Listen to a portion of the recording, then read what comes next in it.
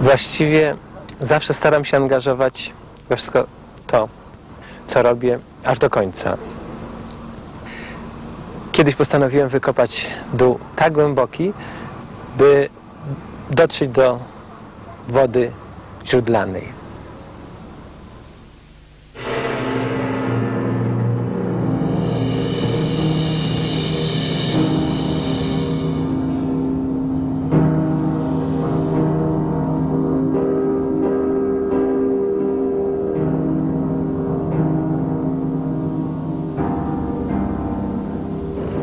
Piętnastego maja 77 roku traktem królewskim przez ulicę Grodzką z rynku do Wawelu przeszła czarna procesja po śmierci Staszka Pyjasa, zamordowanego przez Służbę Bezpieczeństwa w jednej z bram przy ulicy Szewskiej.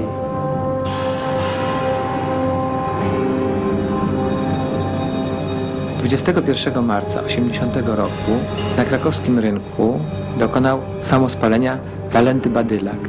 Przykuł się do studzienki, polał benzyną i spłonął, protestując przeciwko kłamstwu o zbrodni katyńskiej. Znalazłem się tam chwilę później, wykonałem serię zdjęć, zostałem zatrzymany przez Służbę Bezpieczeństwa, poturbowany. Wyrwali mnie ludzie, uratowali. Wiedziałem, że rozpoczyna się czas jakiejś mojej gry. Gry z tym systemem, w którym aparat fotograficzny i film ma olbrzymie znaczenie.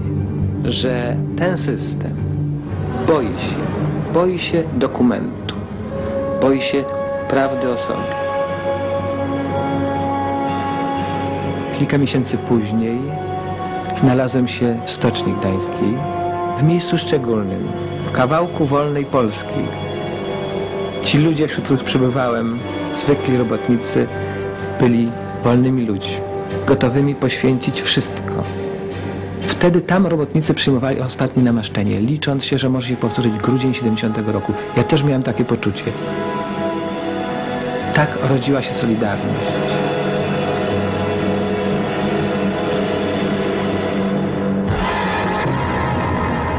13 grudnia wprowadzenie stanu wojennego w Polsce jako próba przekreślenia nadziei na taką Polskę, jakiej myśleliśmy, marzyliśmy. Przez kilkanaście miesięcy dobijaliśmy się właściwie jej. Ludzie nie mogli się z tym pogodzić. Nie wystąpili zbrojnie, nie podjęli walki, którą im zaproponowano.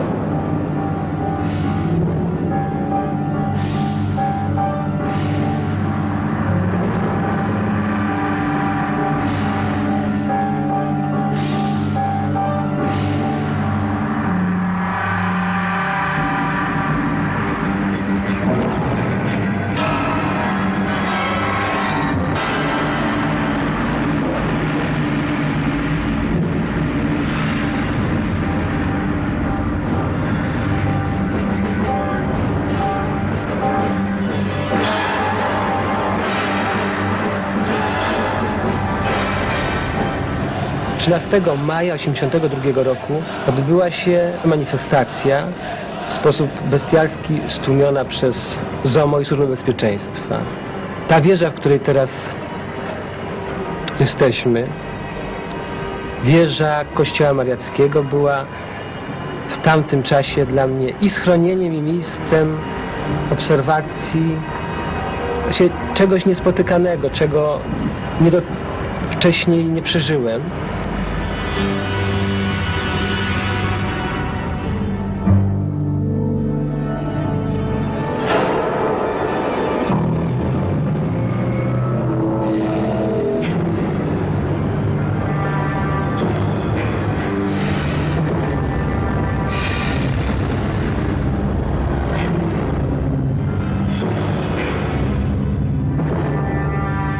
Przez kilka godzin właściwie jakby stworzono strefę, martwą strefę na rynku.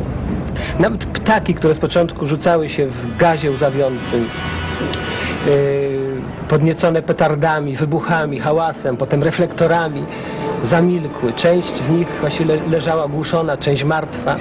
Ta wieża stała się jakimś takim kominem, w którym na skutek cługu, który powstał, skumulował się gaz łzawiący, który dodatkowo utrudniał fotografowanie.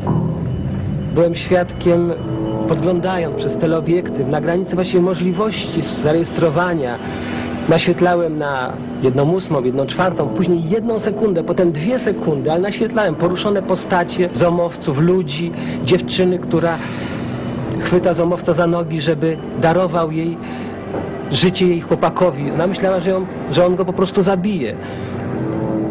Były wypadki cię, ciężkich poranień, ludzie spadali z dachów, ponieważ dachami próbowali wyjść spoza tej strefy absolutnej jak, jakiejś czystki, którą urządzono tutaj ludziom. Nagrywałem również na taśmie magnetofonowej, bo jak się jakby skończyła możliwość rejestracji obrazem, dźwięk okazał się bardzo skuteczny.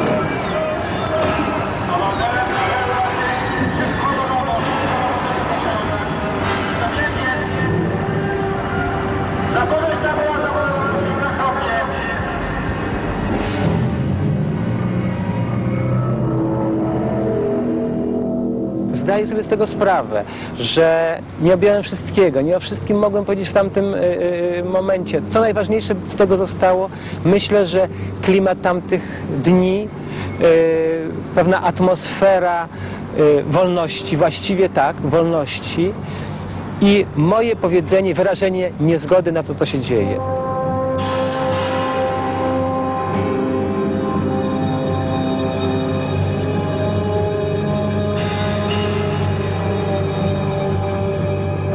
Fotografowanie manifestacji w Nowej Hucie było czymś szczególnym dla mnie.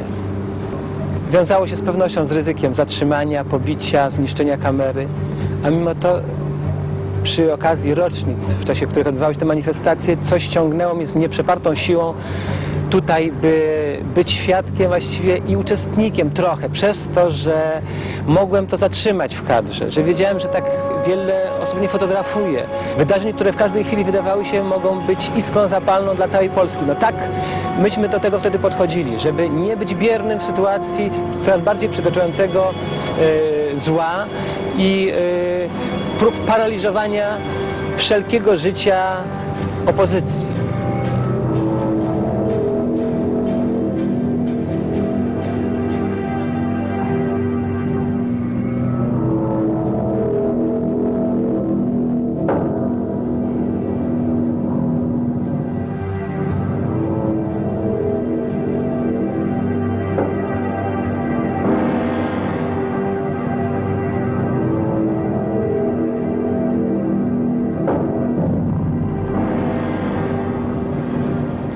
Walki w Nowej Hucie to były właściwie takie nasze małe wojny.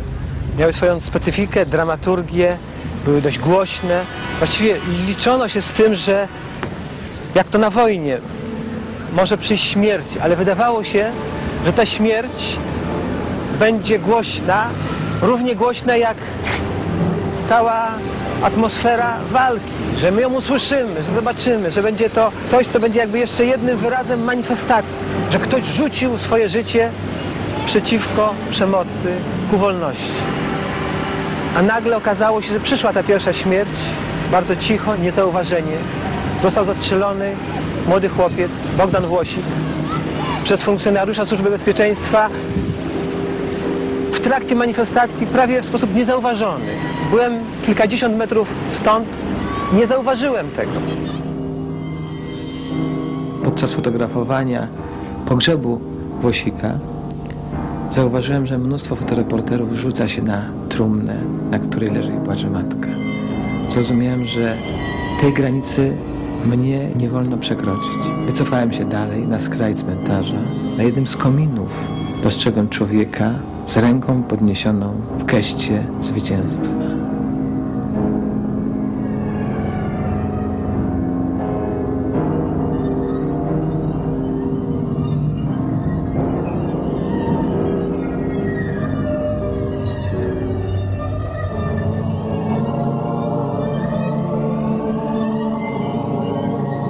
17 maja 1981 roku na tym największym placu w Europie zgromadziło się ponad 300 tysięcy Polaków, którzy modlili się, żeby Ojciec Święty przeżył, żeby wyzdrowiał po zamachu na placu Świętego Piotra.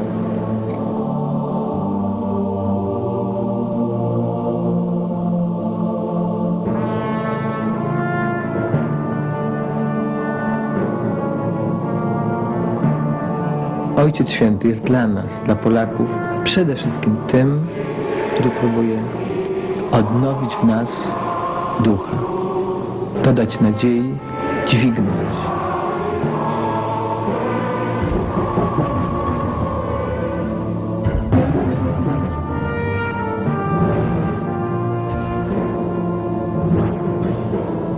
W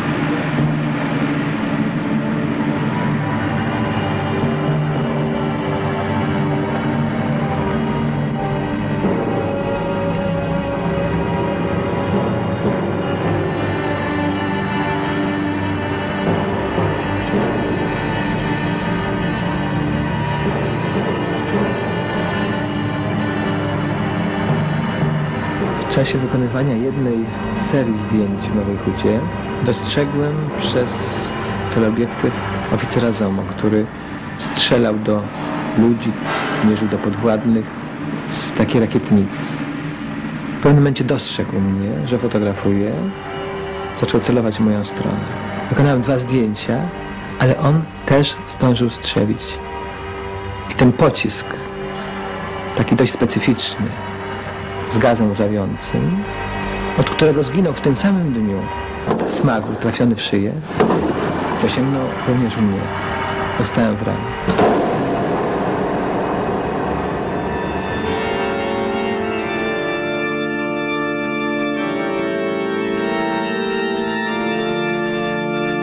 W 1984 roku w sposób bestialski został zamordowany przez Służbę Bezpieczeństwa ksiądz Jerzy Popiełuszko.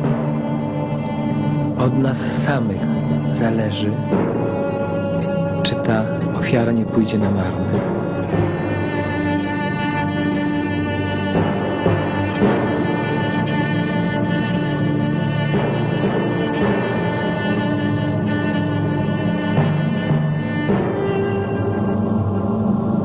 Dzięki Ojcu Świętemu odzyskaliśmy nadzieję. Odzyskujemy wiarę. Stajemy się silniejsi. Rozpadł się system, ale to jest początek drogi.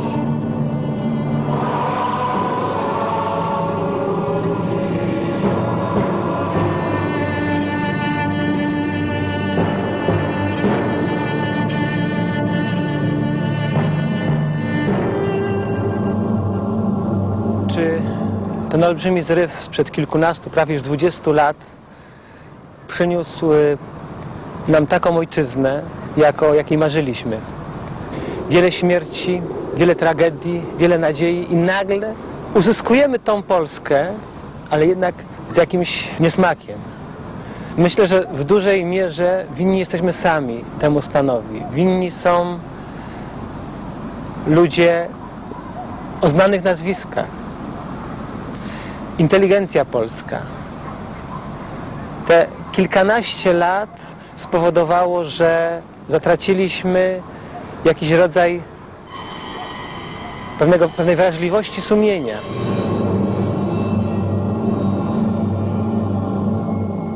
Pamięć trzeba mieć.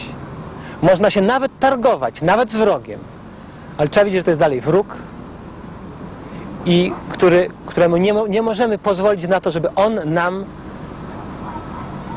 zagarniał sferę pamięci i sferę najważniejszych wartości.